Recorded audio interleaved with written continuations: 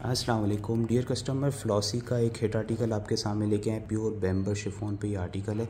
कोशिश की है सेम बनाए। ठीक है, सबसे पहले फ्रंट की बात कर लेते हैं। प्योर बेम्बर शिफोन पे फ्रंट है।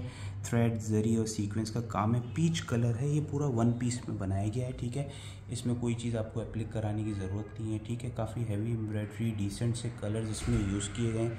ठीक है, ये इसका पूरा हैवी एम्ब्रॉयड फ्रंट है। चौबीस इंच की चौड़ाई है। लंबाई जो है स्टैंडर्ड साइज़ की है। साइड की एक्सटेंशन दी गई हैं ताकि आप जो है एक्स्ट्रा लार्ज इजीली बना सकें। तकरीबन 12 इंच की चौड़ाई का ये बॉर्डर है, ठीक है? तीस वन यार्ड इसकी लेंथ है और चौड़ाई जो है ऊपर नीचे जो है वो 12 इंच की। तो लेंथ आपकी अप्रॉक्सीमेटली 48 तक बन जाएगी। फुल साइज़ की स्लीव्स दी गई है आप देख सकते हैं बेल स्लीव इजीली बन जाएगी। इतना फैब्रिक गिवन है और स्लीव्स के लिए जो है ये बॉर्डर भी दिया गया है, ठीक है? और इसके बाद आ जाते हैं बैग की तरफ़। बैग भी जो है हैवी एम्ब्रॉयडरी है प्योर रॉ सिल्क का जो ट्राउज़र है, वो मैंने नीचे बिछाया है ताकि कलर आपको वाज हो सके। ट्राउज़र के लिए ये लेस दी गई है बैग के लिए भी ये बॉर्डर दिया गया है, ठीक है? ये पूरा आप देख सकते हैं ओवरव्यू ठीक है? Ready to wear pure bemberg chiffon का ये दुपट्टा है, ठीक है? ये आप देख सकते हैं आपके सामने। बिल्कुल फिनिश करा दिया दुपट्टा।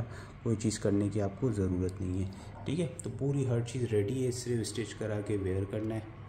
जो चीज़ जैसी दिखाई जा रही है सेम एज इट इज़ ही आपको डिलीवर भी होगी। पीच कलर है ये, ठीक है? Thank you